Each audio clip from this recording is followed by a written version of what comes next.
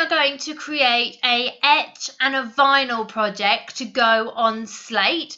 We're going to etch out using some Oracal 651 as a stencil and then we're going to cut out some vinyl as well.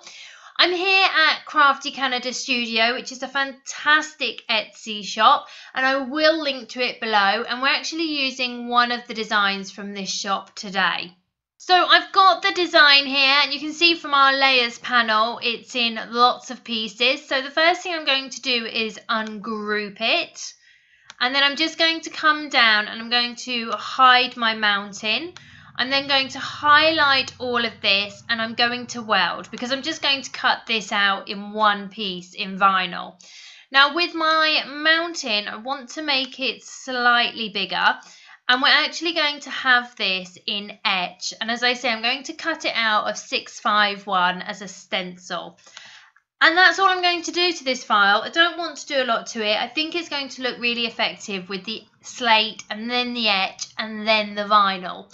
So we're going to go to make it. And you can see I've got two mats. So again, I'm going to go to continue.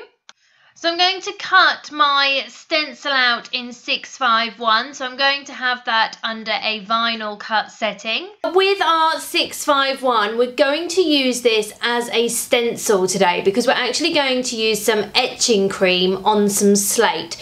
So I've just cut my design out the way I usually would. So when you're using vinyl as a stencil, you're going to use it slightly differently. So usually we weed around the outside of our design. However, with a stencil, you're actually going to weed out the design itself because you want to, whether you're using paint or etching cream or whatever you're using, you want the actual design to be transferred. So in order to do that, it's the design itself that you're going to remove if you're creating a stencil. I love using 651 as a stencil. It's so easy to work with. It's so easy to weed and it's a, just a great product to use as a stencil. The other reason I like using 651 as a stencil is it's actually really inexpensive to buy. So there are some great um, vinyl stencils out there. As you all know, I use the Cricut one a lot. But 651 is a really good alternative if you just want a cheap throwaway stencil. And also, if you can't get hold of some stencil vinyl, this is a great alternative. So once the stencil is completely weeded out, you can see that we've got our design that we've weeded out and we're going to transfer it the same way we usually would. So we're going to place our transfer tape over, we're going to scrape from the front and then the back and then we're going to transfer it onto our slate. So you can see that I've placed my transfer tape onto my slate now. So I'm going to go in with my scraper and I'm going to give it a really, really good scrape. Now, slate can sometimes be tricky. Sometimes it will allow your vinyl to adhere to it straight away.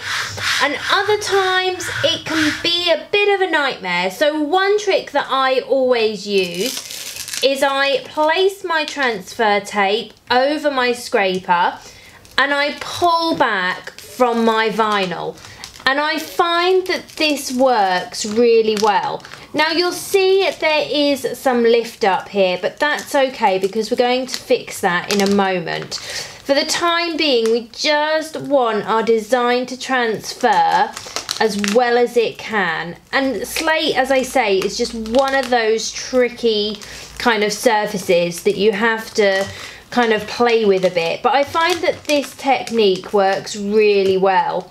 And I use this a lot especially with canvas as well. Transferring vinyl onto canvas can be a bit tricky and again this technique is great for that. So I'm then just going to go in with my finger to begin with and I'm just going to completely smooth down my vinyl. Now because we're using this as a stencil and we're going to use etching cream, you want to ensure that you've got no lift up and no gaps because you don't want any of the cream to bleed through. So once your 651 stencil is fully adhered to your slate, you're going to get yourself a fluffy brush and I do find that a fluffy brush works best. And I've also got some Armour Etch cream. Now, I find that this stuff is really pungent and I don't know if it's just me but I would advise using this in a well ventilated room because as I say I find it really noxious.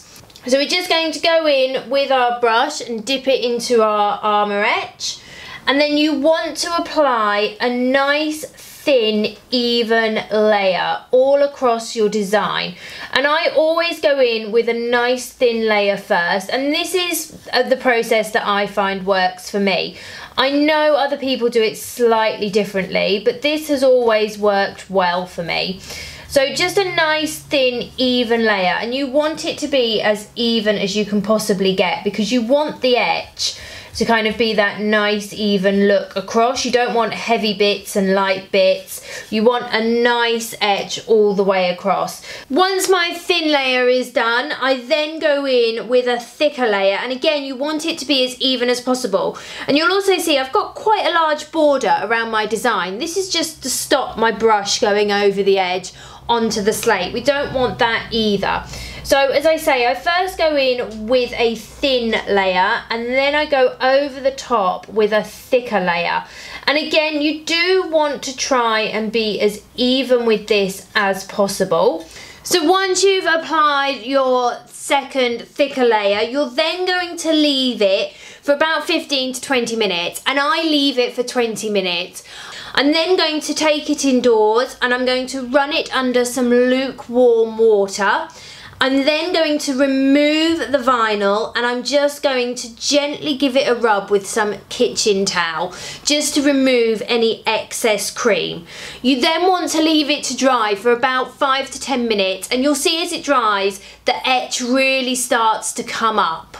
So you can see that that's now etched and it's all dry and it works really well with the 651. It's a great inexpensive vinyl to use when stenciling.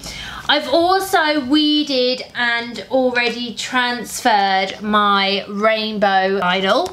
So I'm just going to go and work out where I want that to sit. So I just think that this looks lovely. You've got your patterned rainbow vinyl, You've got the etch and then you've got the black of the slate as well. And I just think it looks so, so effective and it's so easy to do.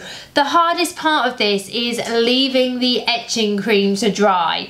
It's so tempting to take it off early. Please, please don't.